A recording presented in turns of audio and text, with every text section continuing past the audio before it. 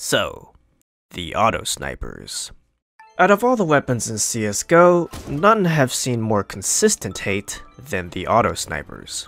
Sure, a few other weapons have also received hate from time to time, but the negative attitudes towards those weapons usually subside after balancing changes are set in place. The auto snipers, on the other hand, have not seen a statistical change in, well, maybe ever. Yet they still manage to receive a huge amount of hate, whether it be in deathmatch or competitive matchmaking. Get rid of the auto, man. But why are the auto snipers so disliked among the CSGO community?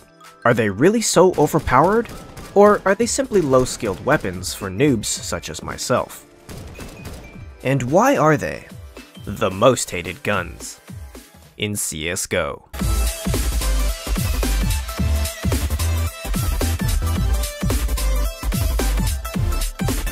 Of course, before we discuss anything, we first need to take a quick look at both of the auto snipers' weapon statistics. As always, I won't be discussing all of their weapon statistics, but just the ones I find to be important and or interesting.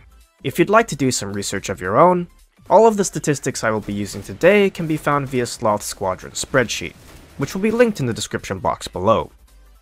So, to start things off, at $5,000, the auto snipers in CSGO are unsurprisingly some of the most expensive weapons in the game.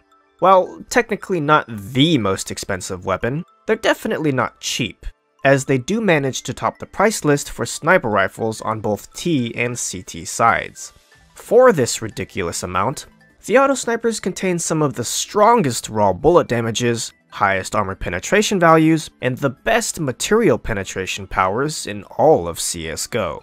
Yet, even at 80 raw damage per bullet and 82.5% armor pen, the auto snipers are still second to that of the AWP, and surprisingly, even the Scout. But they are called auto snipers for a reason. And unlike most traditional snipers, the autos contain a boosted fire rate of about 240 rounds per minute,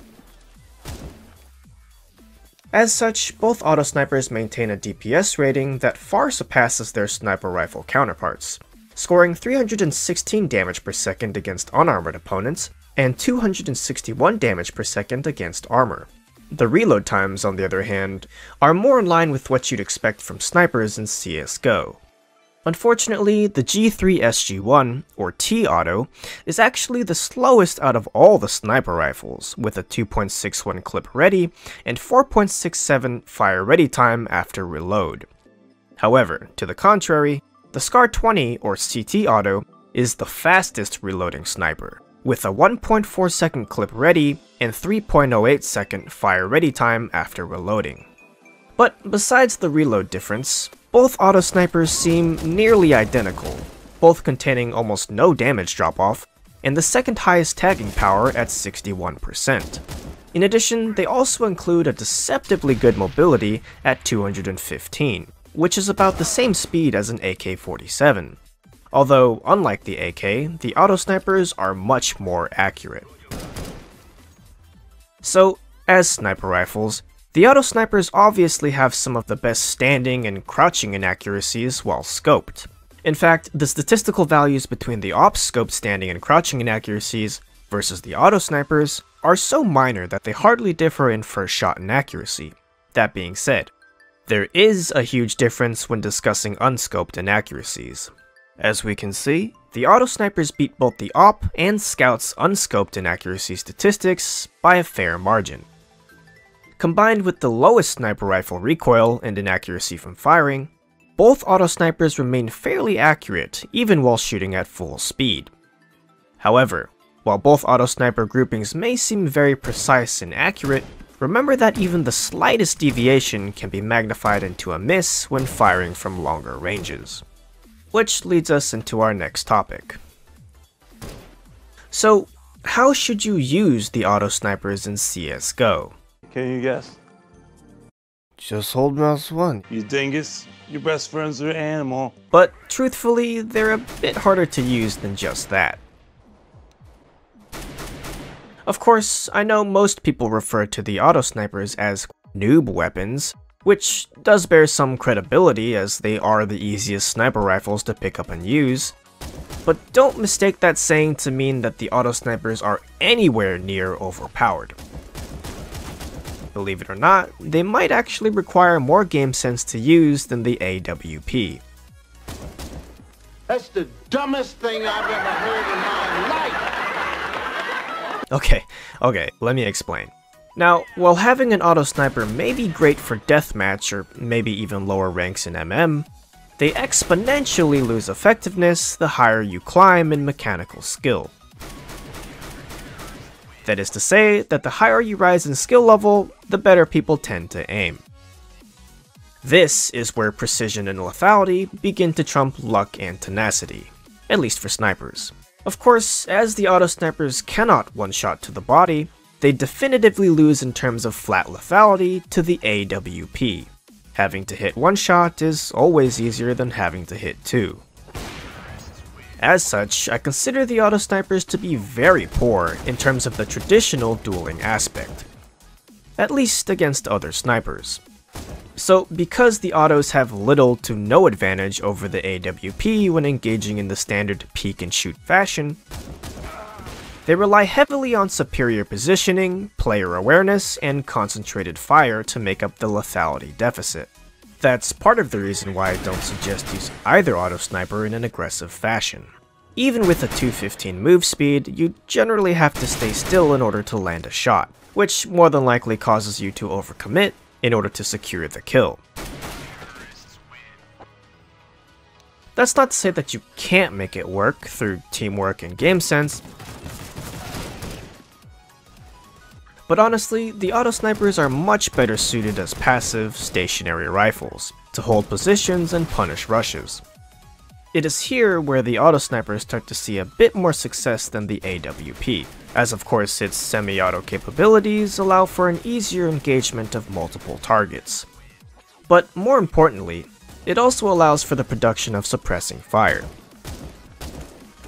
which can also be used to effectively spam through objects, as the auto snipers do contain the best penetration powers in the game. However, keep in mind that it's especially important for auto users to rotate positions, as again, it's better suited for ambushes rather than 1v1 sniper duels.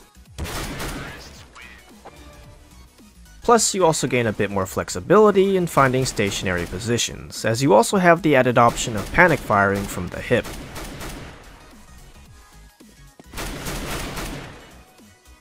Obviously, while I don't recommend hip firing, it's better than nothing, and far more consistent than if you were to try no-scoping with an AWP.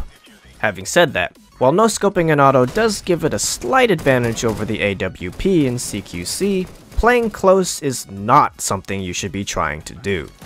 Unless of course you're prepared to mortgage your house and sell your car. Speaking of which, when should you buy an auto sniper? Now, this is a bit of a tricky question. As I've said before, the auto snipers really only excel in very specific situations, and even then, they can just as easily be countered by ops or even scouts if used correctly. Again, the auto sniper's lack of instant lethality severely limits its effective utility, giving it even less reason to buy over the AWP. Heck, even the scouts are able to body shot unarmored individuals, while the autos cannot. You ain't never seen no one that at nobody as skilled as me. What? Factoring in the various other repercussions of losing a $5,000 sniper, and I would severely restrict the instances of purchasing said auto to either just before the half or rounds nearing the end of the game. Honestly, unless you're absolutely being steamrolled by enemies who repeatedly push, and are terrible with the op like me, there aren't too many rounds where buying an auto is tactically feasible. In fact, I wouldn't even recommend buying the T-Auto Sniper at all. Unless you somehow find yourself playing a hostage rescue map, or just steamrolling so hard that money doesn't even matter. Seriously. Not only are the autos terrible for pushing and peeking, but the T-Auto specifically has one of the slowest reload times in the game.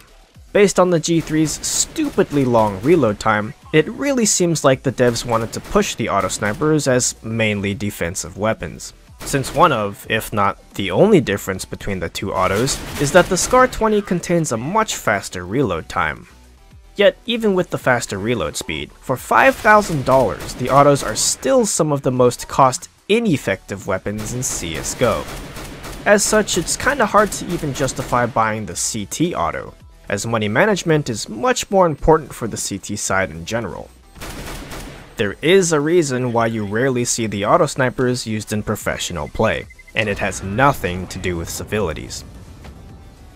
But if the auto snipers are really as bad as I make them seem, why do people constantly hate them for being overpowered? Well, that's a rather loaded question. But I do have some theories on why.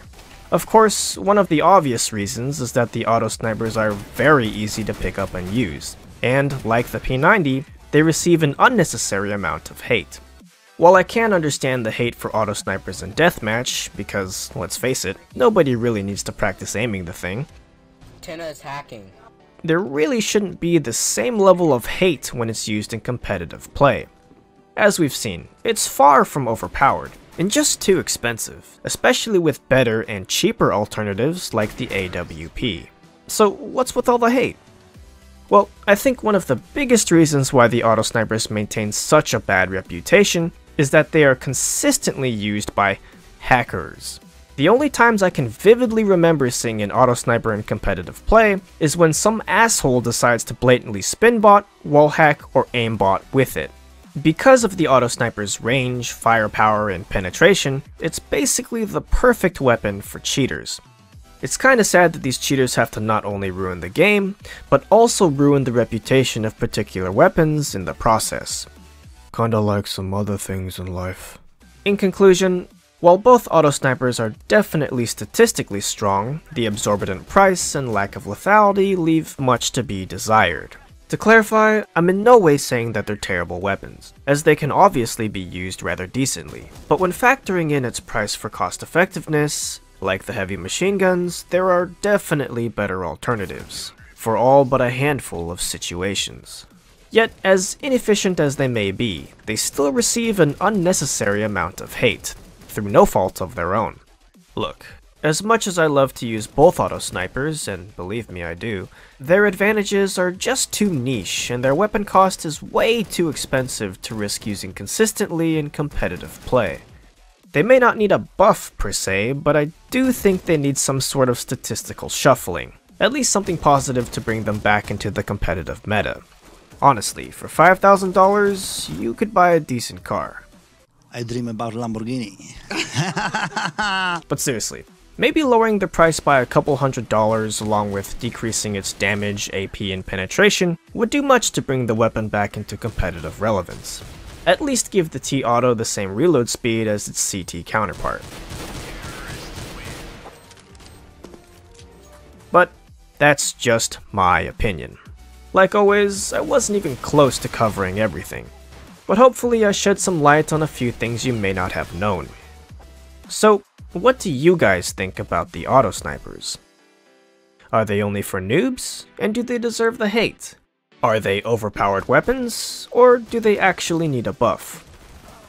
Either way, they're still the most hated guns in CSGO.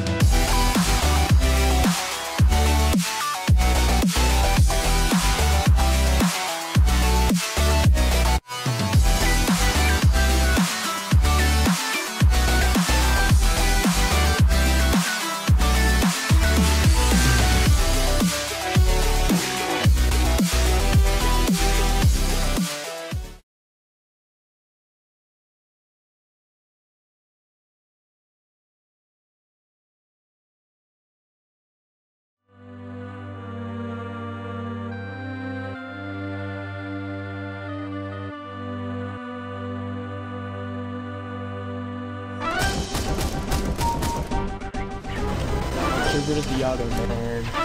He's hacking. He's not gonna get Who rid the of hacker? Freaking Tina. Tina is hacking. Tenor?